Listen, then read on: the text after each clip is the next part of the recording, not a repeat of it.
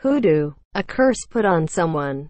This woman is putting hoodoo on the man. She hopes he gets bird poop on his head.